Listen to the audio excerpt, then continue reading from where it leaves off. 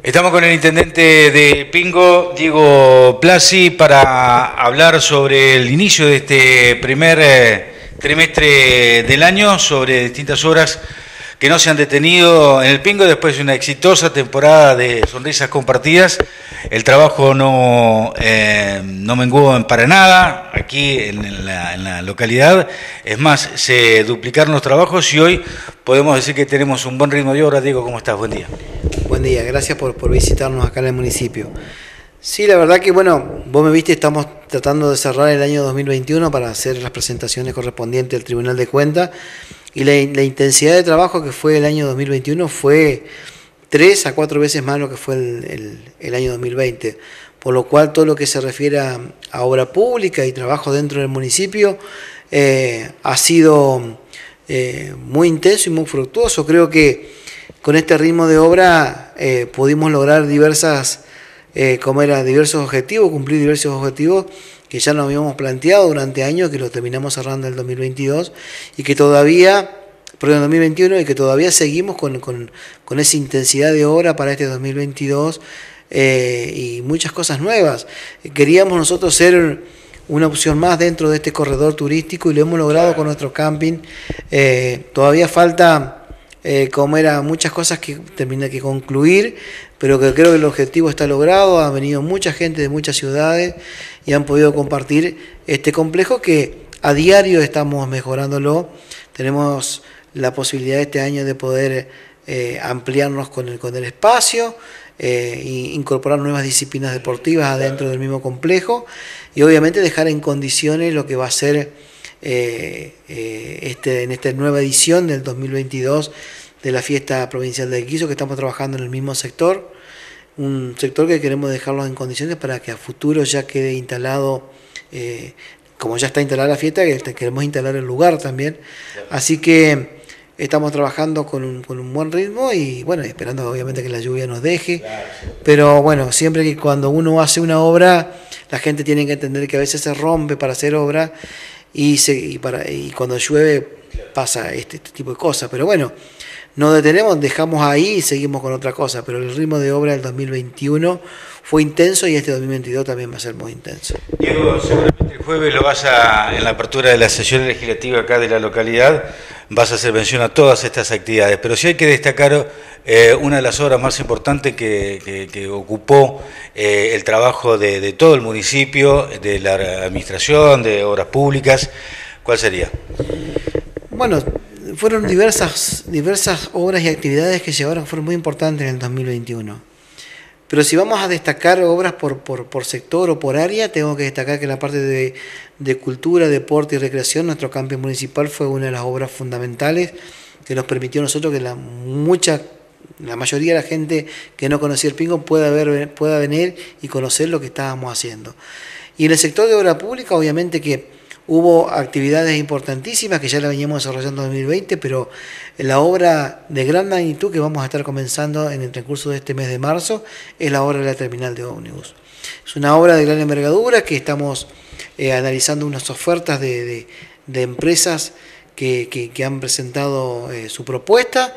Eh, queremos, si Dios quiere, en el transcurso de este mes ya cerrar con la empresa para que pueda comenzar la obra de la terminal eh, de ómnibus.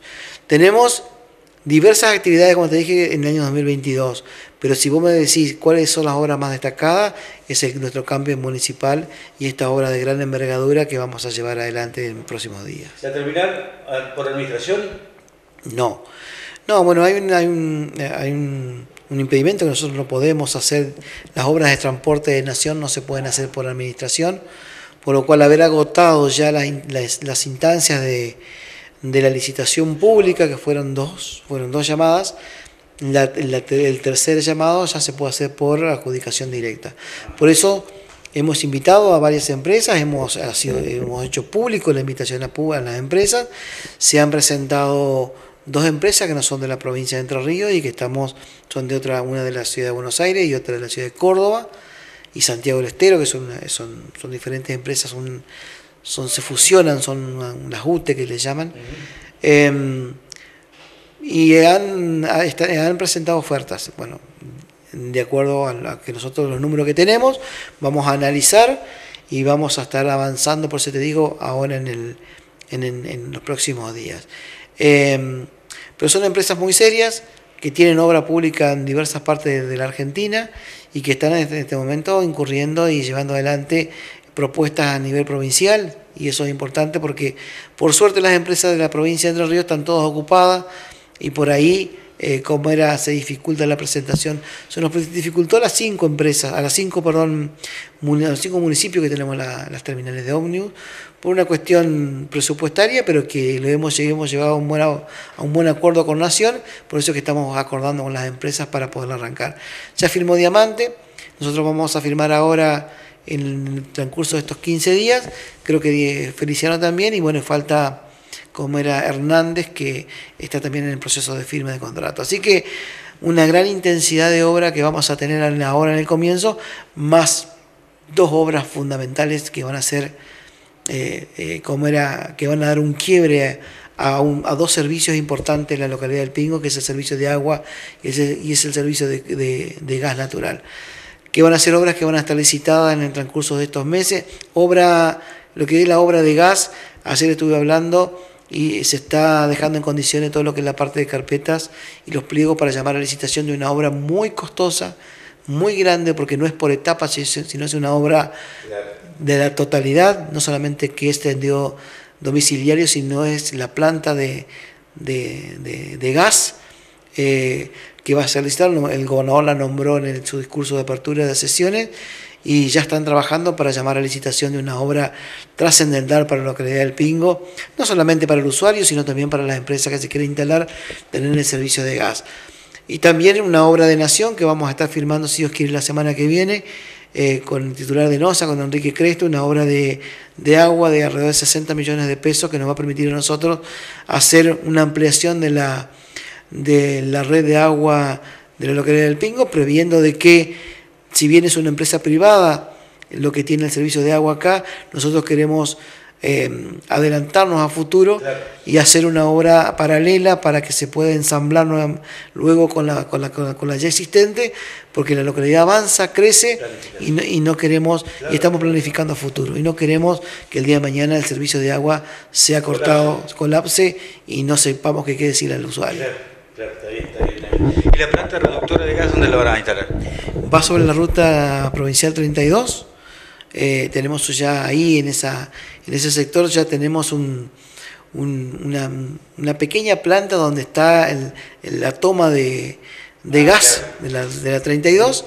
Así que ahí sí se va a hacer el, la planta que sigue, eh, que continúa eso para poder después ya eh, interiorizarnos en la localidad para hacer el tendido eh, de todo lo que es la red domiciliaria. ¿Y la presión va a estar buena porque esa es la que va de Brasilera a, al norte? Ese. No, a ver, ese, ese que viene en la ciudad de Crespo. Ah, es por la ruta 32. Tenemos dos ramales acá. Una que va eh, por la ruta 32, que va hasta La Paz, y la otra es la que cruza por la ruta 127, que es un ramal de llamada internacional, o sea, ya es un ramal donde hay que hacer mucho más inversión, y, pero no necesitamos para la toma, pero no necesitamos porque el caudal y la presión que tenemos sobre la 32 y es provincial alcanza perfectamente. Bien, bueno, otro de los temas, eh, Diego, hace poquito la visitó la directora de atención primaria, la doctora Wagner, en salud para poner en funciones al, aquí al centro de salud al doctor Gutiérrez.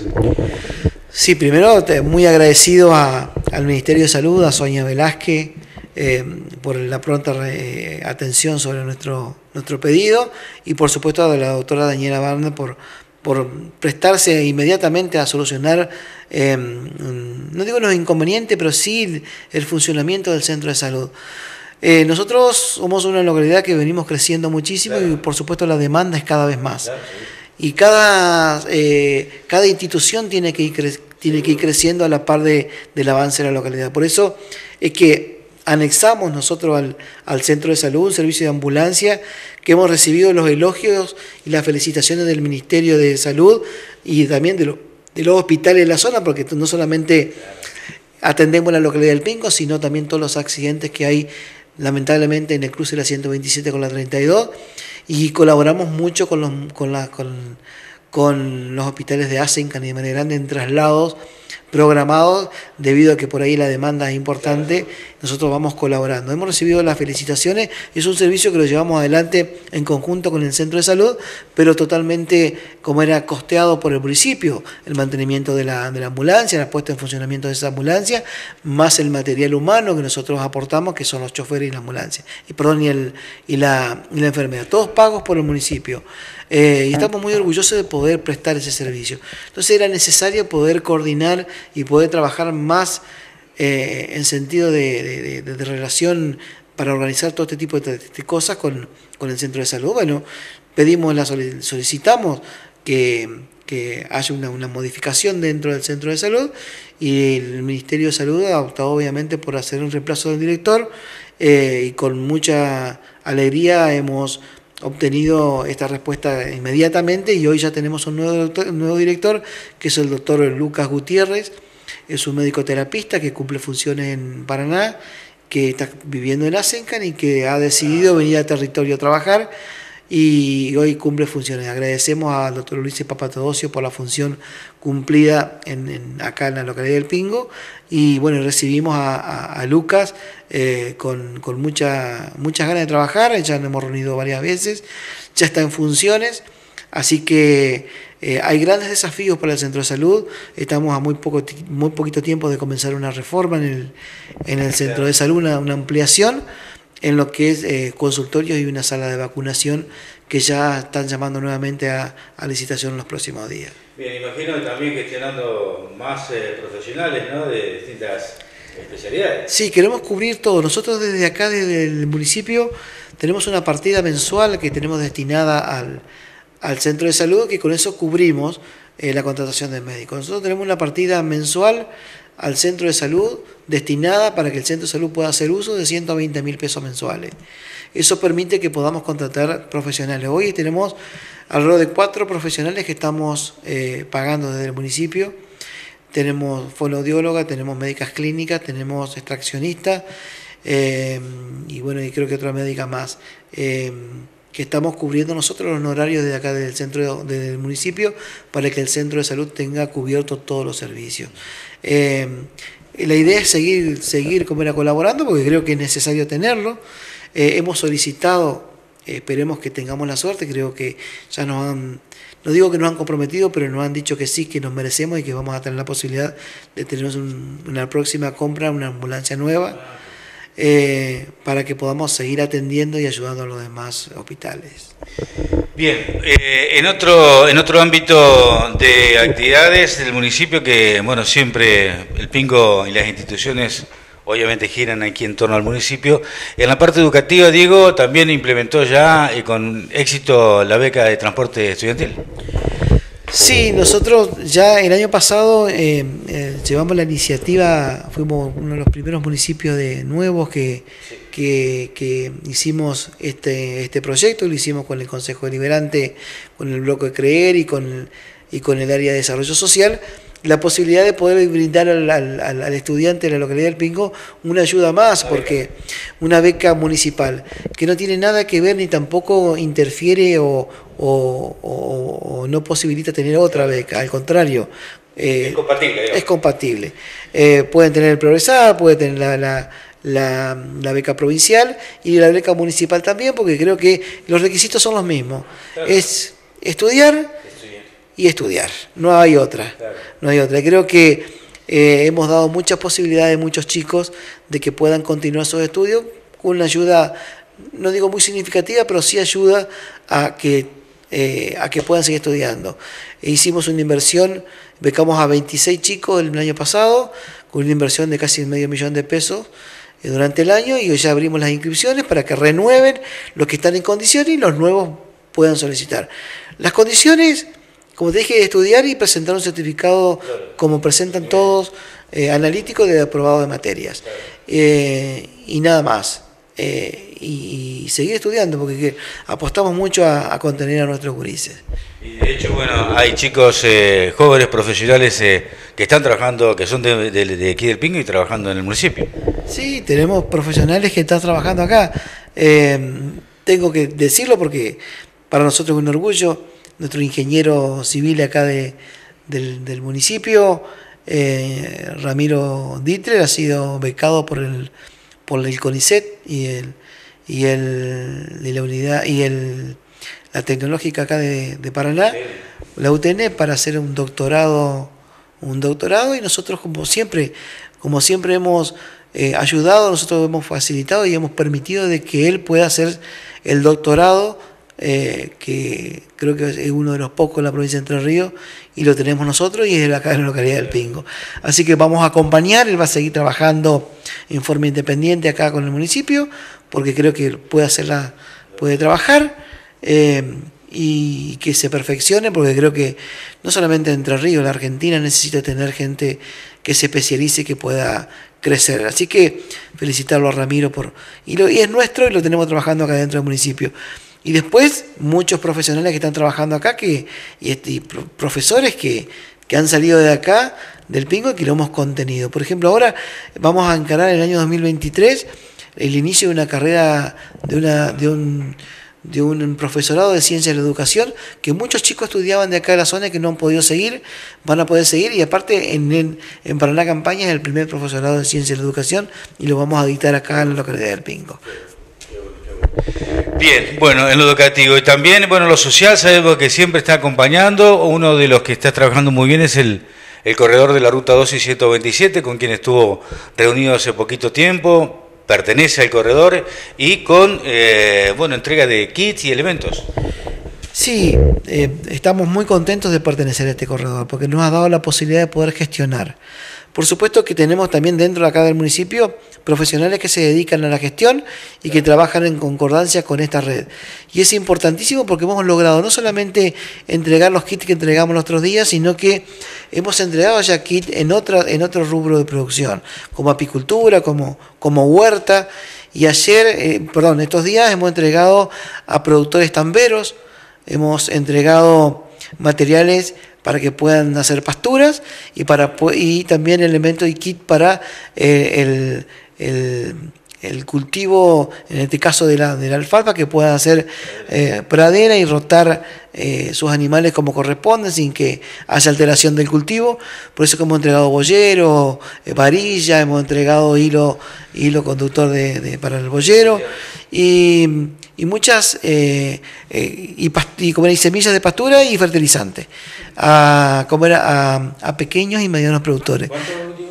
Entregamos, entregamos a cuatro productores de la zona eh, todo el material para que puedan realizar entre 5 y 10 hectáreas cada uno. Estamos muy eh, muy en contacto con el pequeño y mediano productor, porque creo que es donde tenemos que apoyar nosotros, donde tenemos que apuntar a aquellos pequeños y medianos productores que no tienen la misma posibilidad de poder acceder eh, como acceden otra, otra gente, otros productores que tienen más cantidad de campo y mucha más cantidad de animales, obviamente. Estos son pequeños y medianos productores de la zona y nosotros vamos a seguir trabajando porque creo que tenemos nuevas entregas dentro de muy poquito y, y Cómera y y ese es el objetivo nuestro, estar del lado de los que más necesitan, en este caso de los pequeños y medianos productores que necesitan tener un apoyo. Bien, bueno, digo, hablemos ahora del de, eh, parque automotor, nueva incorporación con eh, recursos propios, realmente con un buen sacrificio económico, un camión con caja cero kilómetros, caja volcadora. Sí, nos están entregando, estamos muy contentos, a ver, yo digo siempre la misma palabra que estamos contentos. Sí, pues, cada, cada, logro para nosotros es ponernos felices, contentos, que lo, que lo podemos llevar adelante. Todo lo que es el parque automotor de, del municipio del Pingo lo hemos adquirido con recursos propios. Todos. Nosotros desde que iniciamos, yo inicio la, la, la, Junta de Gobierno allá por el 2007 con un camión que lo sigo teniendo todavía, que es un Mercedes, eh, grisecito que lo tenemos está muy baqueteado, pero bueno, nos sirve, nos sirve para todo porque es un fierro. Eh, eh, y un tractor pala que ya hoy está en desuso, por, por los años, por, porque se fueron, eso fue, fue entregado en el año 83, te puedes imaginar la cantidad de años que tiene, y necesitábamos crecer eh, para poder construir y llevar adelante diversos proyectos. Comenzamos ya con la Junta de Gobierno, con la adquisición de un tractor eh, y de un camión recolector de basura cuando, y un tacho atmosférico que pudimos lograr en esa época.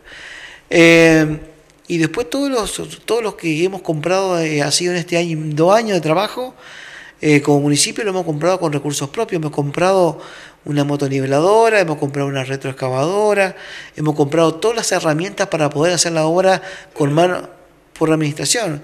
Hoy hacemos pavimento, cordón, cuneta y vereda con materiales nuestros. Debemos comprar regla vibradora, debemos motopizón, cerradora, herramientas, eh, máquinas de hormigonear individuales para poder eh, comer, hacer, usarlas al mismo, al mismo momento que estamos con, el, con los camiones de de pavimento, todo lo que hay que... Eh, y para hacer muchas obras, y todas esas herramientas las hemos comprado con recursos nuestros. Y ahora tenemos, como hemos comprado camionetas cero kilómetros, que es una utilidad importante para el municipio, de no tener ninguna camioneta, hoy tenemos tres camionetas que están a disposición de la parte de obra pública y obviamente la, camioneta que están a, disposición y de uso exclusivo del, Ejecutivo, que en este caso lo uso yo, eh, para gestión, para trabajar, para, para, para un montón de actividades que me, me, demanda las 24 horas. Yo estoy disponible las 24 horas, así que el vehículo está a disposición mío y obviamente de la gente que cuando hay que hacer alguna diligencia eh, viaja. Pero también hemos adquirido eh, una combi, que eso cero kilómetros, un Sprinter, que eso fue a través de municipios de pie de la nación y que hoy cumple la función de traslado de gente a la ciudad de Paraná por turnos o por eh, actividades que hay que hacer en el ANSES o en la FIP o ida y vuelta con materiales de, de, de, de compra, viaja permanente a Paraná y eso es una utilidad enorme. Y ahora hemos tenido también con recursos propios eh, la suerte de poder llamar a licitación eh, para la compra de un camión cero kilómetros de industria nacional eh, y se ha presentado la firma Beta de la ciudad de Paraná y en el día de ayer fue adjudicado después de todo el análisis que se, hizo, que se hizo ¿Qué ha pasado por el Consejo Deliberante? Que la Comisión de Compra ha aprobado la compra. Hemos, puedo decir que ya tenemos, eh, como era, ya hemos comprado el camión cero kilómetros al contado eh, y el día viernes nos están entregando un Mercedes, eh, perdón, Mercedes no, un Fiat Ibeco, un, un Tector cero kilómetros para el municipio del Pingo. Bueno. Bueno, realmente que se avanza permanentemente, digo, ¿no? Se avanza y se avanza. Sí, tenemos muchos objetivos más con respecto al parque automotor. Tenemos que comprar un nuevo tractor, eh, tenemos que comprar un hidroelevador, que es son cosas importantísimas que, nos permiten avanzar en el trabajo. Pero bueno, todo a su debido tiempo, creo que tenemos bastante tiempo para seguir trabajando. Eh, y siempre, como yo digo, eh, la gente acompaña el crecimiento siempre vamos a estar a disposición de ellos y siempre nos vamos a someter a, la, a lo que el pueblo decida. Por eso es que nosotros queremos seguir trabajando y queremos seguir eh, teniendo el apoyo de la gente. Por eso es que nuestra gestión es una gestión ordenada, una gestión donde no solamente trabajamos con recursos nacionales y provinciales, sino también con recursos propios, que eso nos permite poder avanzar más, más rápido con recursos propios y, y bueno, ir creciendo creo que la gente reconoce a diario el trabajo que, se lleva adelante en el municipio del Pinco. Bien, y por último, la alegría también está eh, coordinada un poco aquí del municipio porque siempre ofreciendo espectáculos para la diversión de toda la familia. En este caso, este sábado están los, los, cursos de la localidad que fueron postergados por razones climáticas. Esperemos que este sábado, bueno, la gente del Pingo se divierta en los, en los cursos de aquí del Pingo. Sí, bueno, hemos incorporado los informes meteorológicos como, algo, como algo diario, porque ya el, agua, el tiempo no lo puede manejar. Entonces, cuando trabajamos mucho con, obra pública y con, y con actividades culturales, eh, es importante poder manejar el tema de, del informe meteorológico. Creo que dan buena lluvia, bueno, buena lluvia, buen tiempo para el para el, día sábado, así que tenemos los cursos con, como con comparsas de la ciudad de Santa Fe y con eh, la banda local, la Sun Power, y, la otra banda es la hora de lo que pinte, es un, un grupo de la ciudad de Paraná, eh, y un, grupo de chicos que vienen haciendo música karaoke que van a estar como era en el, en el evento de los corsos.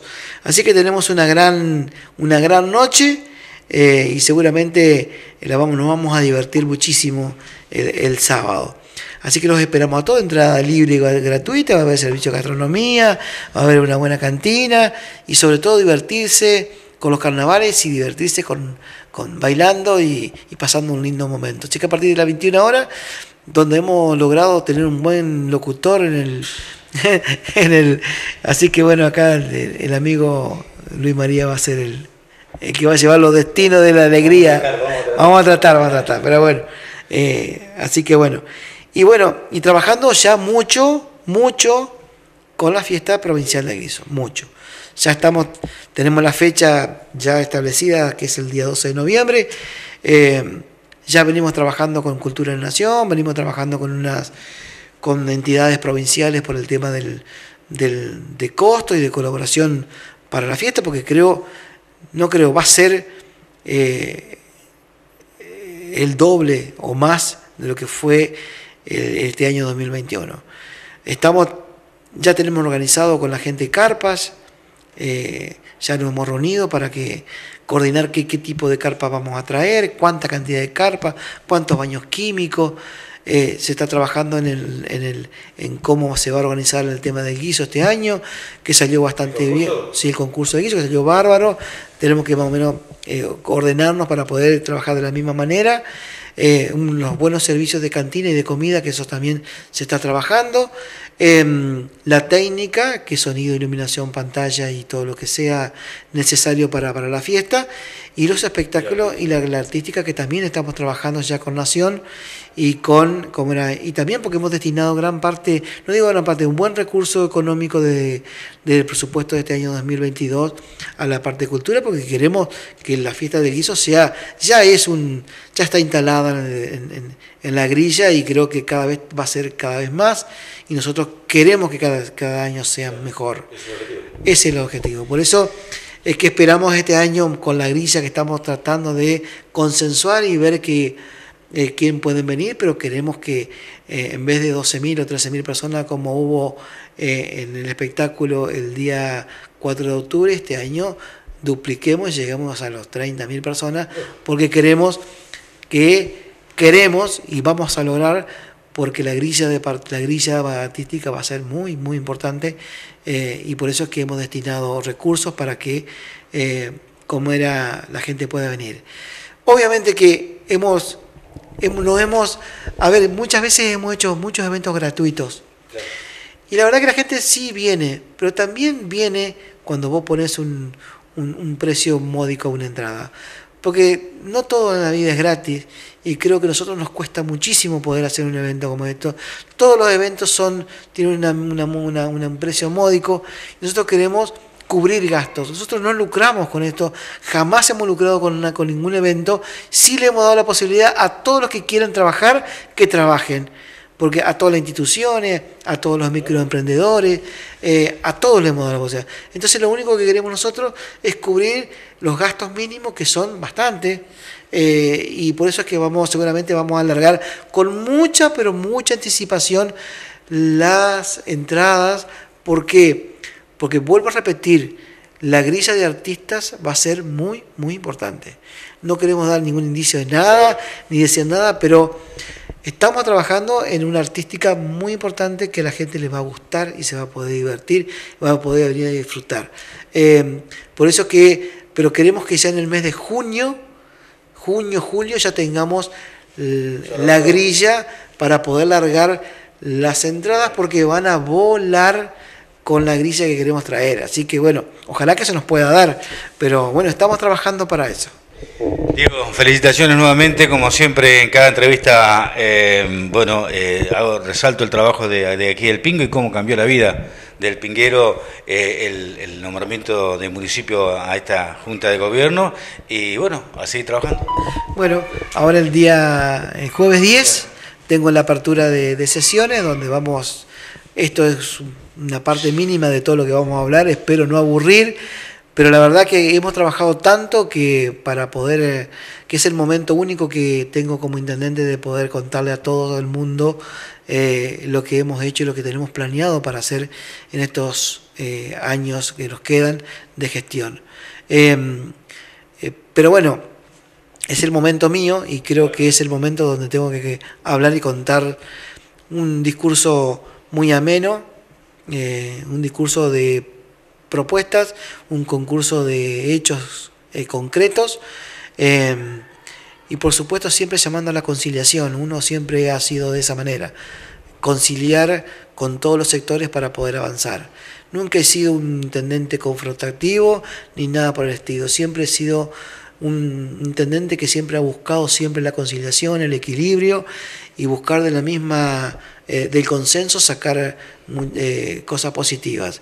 Lo que sí tampoco eh, voy a lograr, voy, voy, voy, a, voy, a, voy a dejar que me hagan, es que en el rumbo del municipio, que interfieran en, las cuestiones administrativas y tomar decisiones cuando haya que tomar, las buenas y las malas.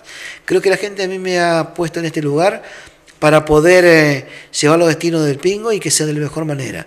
Por eso jamás me va a temblar la mano si tengo que tomar decisiones drásticas que no son de, mi, de mi gusto, pero cuando hay que hacerlas, por el bien de la comunidad se van a hacer. Porque se estaba encontrando con un intendente que, que hace las cosas bien. Siempre las hemos hecho bien. A veces han querido que se parezcan de otra manera, pero siempre las hemos hecho de esta, de esta manera. Por suerte, tenemos una gran gestión y tienen un gran intendente que atiende a todo el mundo y trata de dar una solución. He visto muchos comentarios con la entrega de, estos kits a, los, a, la gente de campo, donde hay comentarios donde dice la gente que nunca se van con un no.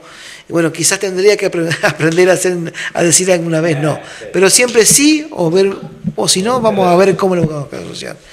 Para eso estamos acá. Así que bueno, los esperamos el 10, jueves 10, a partir de las 21 horas, acá en el salón anexo del municipio vamos a hacer la apertura de sesión ordinaria. Muchas gracias. gracias a ustedes.